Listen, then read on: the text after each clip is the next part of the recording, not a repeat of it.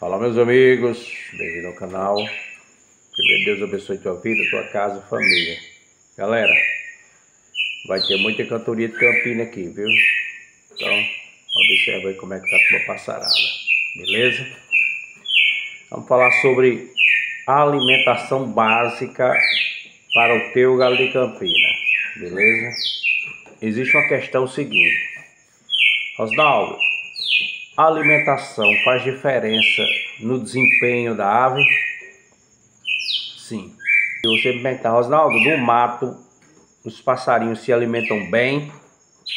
Galera, eu posso responder o seguinte: é, na época do inverno, como está sendo agora, a época da procriação, chovendo muito, se alimentam muito bem. Muito bem. É tanto que eles criam seus filhotes e dá tudo certo.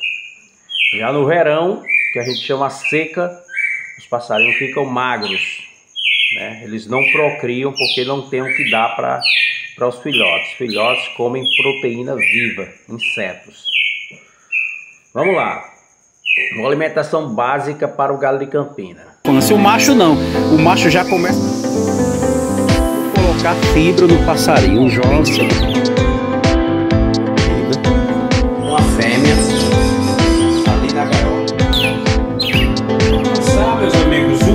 De Campina.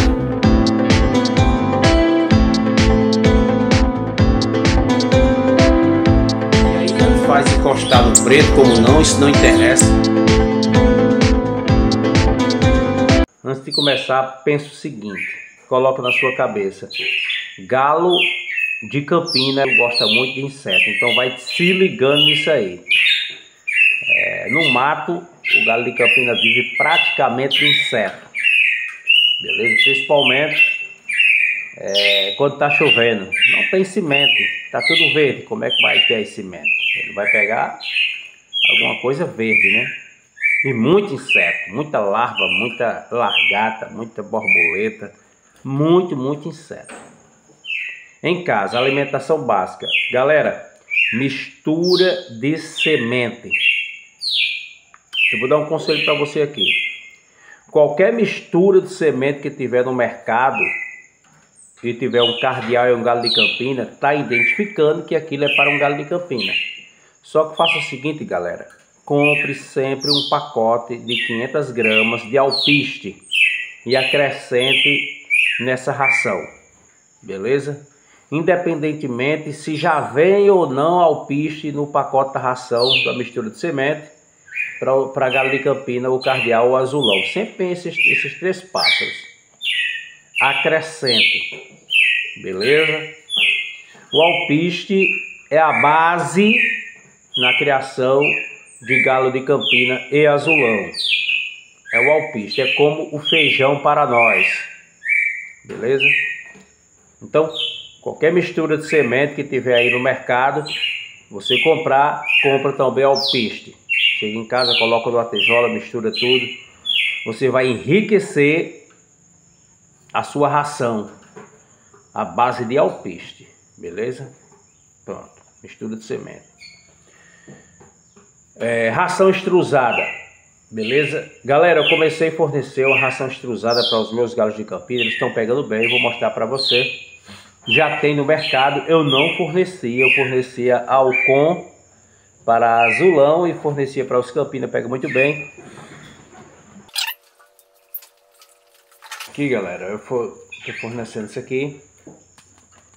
A Selecta, Cardial e Galo de Campina. Tá dando muito bem. Beleza? Outra coisa que eu forneço para os meus galos de Campina. Já fiz vídeo aqui como fabricar o grite mineral. A base de areia lavada do rio, peneirada para, para ficar só os grãozinhos minúsculos, a base de carvão vegetal, esse carvão que tu assa tua carne aí, beleza? A base de casca de ovo, beleza? Esses três ingredientes tem como você fazer um grito mineral muito bom. Aqui eles comem tudo, viu? Come tudo.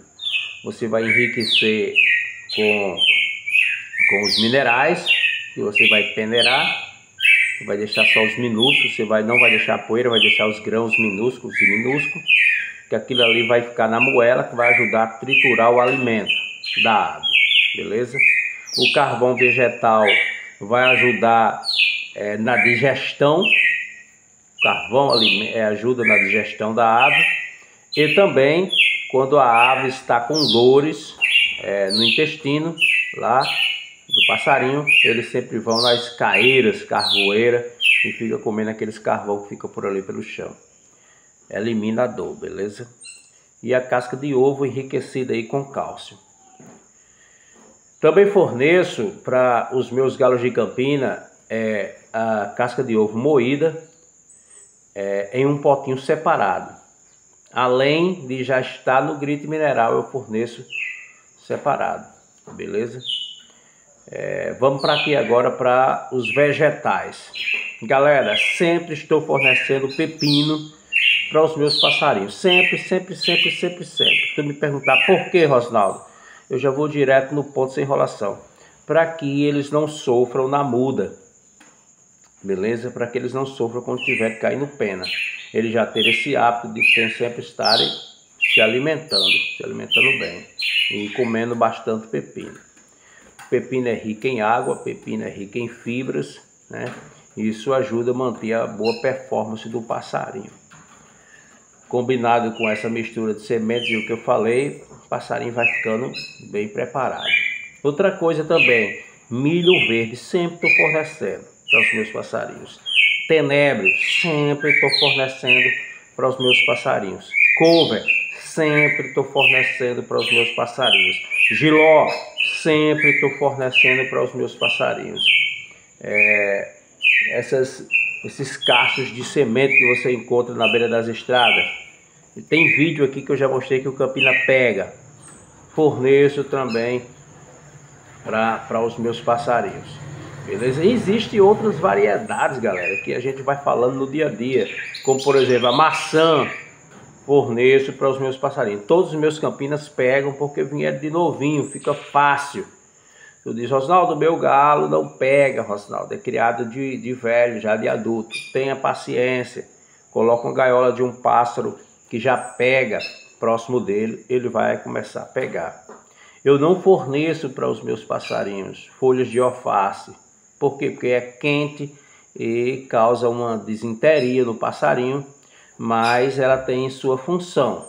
No dia que o passarinho tiver com prisão de ventre, aí tem como a gente fornecer para que libere o intestino da ave. Beleza? Então, é mais ou menos isso que eu forneço. Não esqueça, e esquecendo também, galera, aqui, pimentão também forneço para os meus passarinhos. Feijão verde também forneço para os meus passarinhos. Machixe também forneço para os meus passarinhos. Tá vendo, galera? A gente vai esquecendo. É tanta coisa que a gente vai esquecendo. Beleza? Essa é, é a alimentação básica para um galo de campina. É a básica, beleza? O passarinho ele vai, vai viver bem. E também, esquecendo aqui também que eu acho que é o principal rico em vitamina E e ferro.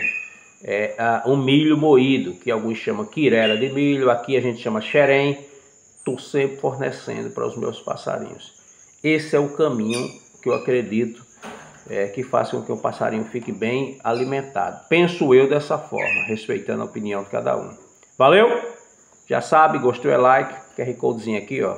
Se você pode nos ajudar, pega teu celular no final do vídeo, mira para lá e coloca qualquer valor aí para nós ajudar aqui na criação, beleza? Fica com Deus, comenta, vou responder teu comentário. Forte abraço, valeu!